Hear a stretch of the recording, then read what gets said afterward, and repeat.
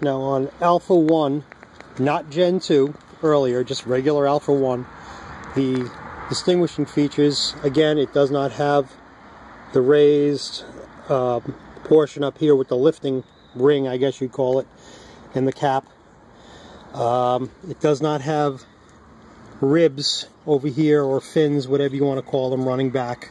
That's definitely the older series prior to Alpha 1. And as a comparison, I'll show you on the other one. If I put my fist here, it's pretty much even with my fist. It's about 4 inches, whereas the Alpha 1 Gen 2 is about 6 inches. And then the other feature, where the trim cylinder mounts, it mounts to the very end of the drive. It does not mount back here like it does on the Gen 2. And also, how the upper and lower cases bolt up, you don't have those exposed bolts showing in this area over here. The mounting bolts are here and they're underneath uh, and that's what holds the two halves of the case together, of the outdrive together, the upper and lower, with no bolts over here. And uh, that's pretty much it for a um, for an Alpha 1. Also part number, I'm not sure if that's a serial number or the drive number, uh, but it's located in this area over here. Usually there's a sticker that goes over it so you can't see it. But if you peel the sticker off, that's where it's located.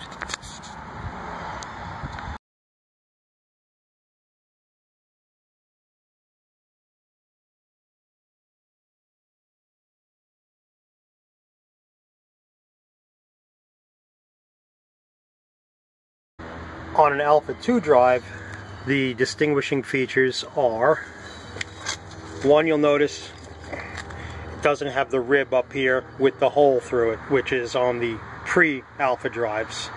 Uh, it also doesn't have the ribs over here which are on the pre-alpha drives. Uh, it has an oil level cap here and one over here. Uh, the distance between here and the end is wider than my fist. Now on the other drive it's about even with my fist.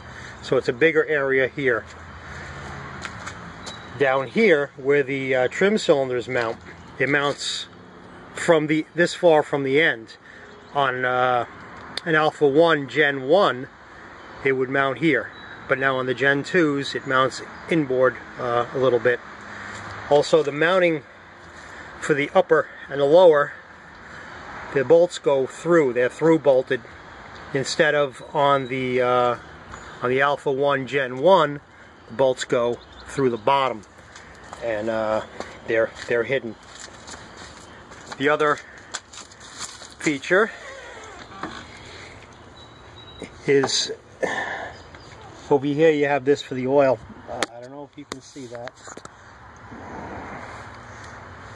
You have this extra hole over here for the oil to fill the uh, the housing, which then runs through the transom assembly and then runs up into the uh, on the back inside the boat uh, to an oil reservoir to keep this thing topped off. Also, you'll notice the number is located right here. It's in the same location as you find on the uh, the Alpha One uh, series drive.